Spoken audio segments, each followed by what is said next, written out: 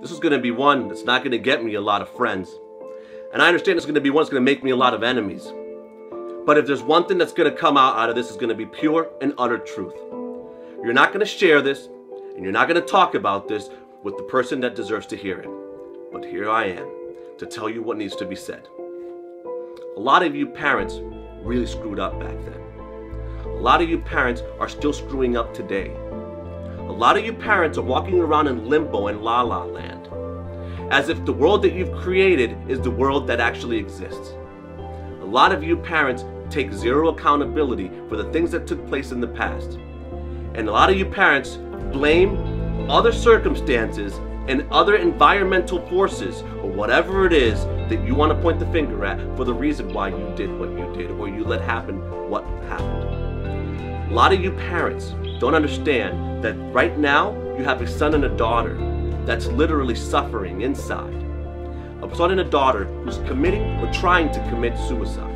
A son and a daughter who's thinking about killing themselves. A son and a daughter who's seeking drugs and abusing drugs just to get rid of the reality that you created for them.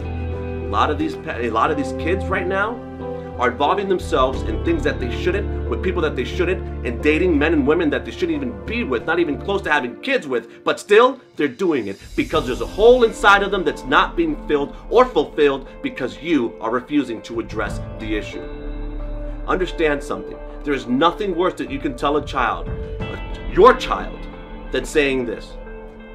I don't remember it being that bad. Actually, I don't remember that at all. I'm surprised that even happened. As if some way willful blindness is a good justification for the actuality that that child had to normalize when he became an adolescent and an adult.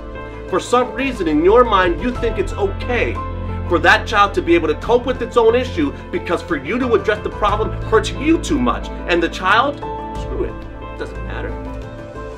Understand something. This is not going to be a very convenient message. And as a parent, I understand how difficult it is to be a parent.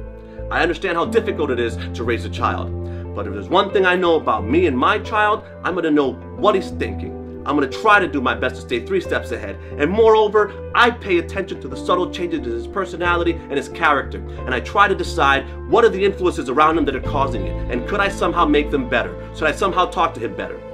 But if there's one thing that I do know, is that the creation that took place for these kids right now did not come from a very good foundation. And for some reason, you think ignoring it is going to help. Number two, guys, I understand it sucked. I understand it wasn't good. I understand it was not easy. You can't sit here and continue living your life dwelling on a, on a, on a past that you can no longer change. Sometimes your parents are not ever going to talk about it. They will go to the grave with that secret, with that truth, inside of them because their pride is more important to them than your than, than actual parenting, than your happiness, than your fulfillment, than your joy. It hurts them too much. It's too painful for them to address. So it's time for you to address it yourself.